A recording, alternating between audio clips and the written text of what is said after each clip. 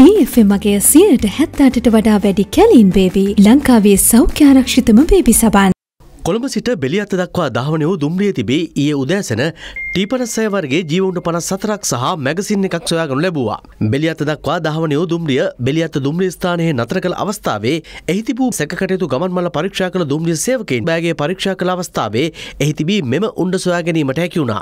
මෙම උණ්ඩ සහිත ගමන් මල සංවිධානාත්මක අපරාධකල් සාමාජිකයෙකු විසින් බෙලියත්ත හෝ තංගල්ලාවට මනුෂ්‍ය ඝාතනයක් සිදු කිරීමේ අරමුණින් කිසියම් අයකුට යවූ ඒවාදයන්න පිළිබඳ විමර්ශන ක්‍රියාත්මකයි.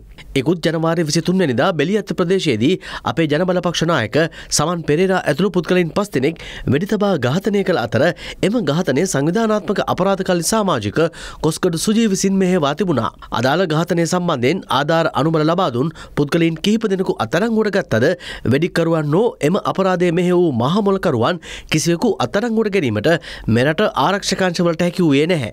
රත්මලාන දුම්රියපොළ මාර්ගයේ සිදු කළ මෙහෙයුමකදී යතුරු පැදියකින් අයිස් මද්‍රව්‍ය ග්‍රෑම් 28ක් රැගෙන යමින් සිටි පුද්ගලයෙකු අත්අඩංගුවට ගෙන තිබෙනවා. රත්මලාන ප්‍රදේශයේ පදිංචි 30 දෙහවරදී අදාළ සැකකරුගේ නිවස පරීක්ෂා කිරීමේදී පාකිස්තානයේ නිෂ්පාදිත රිවෝල්වරයක් සහ ජංගම දුරකථනයක් සිය බාහිරට ගැනීමටයි විමර්ශන නිලධාරීන් කටයුතු කර ඇත්තේ.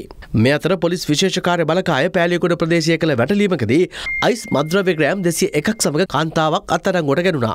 මේ අතර අයිස් මද්‍රව්‍ය සන්තකයේ තබාගෙන සිටි තරුණයින් සිව් දෙනෙකු හැඩන් පොලිසිය මගින් අත්අඩංගුවට ගනු ලැබුවා. හැඩන් දික්කොය සහ සාංචිමලේ ප්‍රදේශයන්හි පදිංචි අදාළ සැකකරුවන් හැටන් නගරේදී අත්අඩංගුවට ගැනීමටයි පොලිසිය කටයුතු කර ඇත්තේ.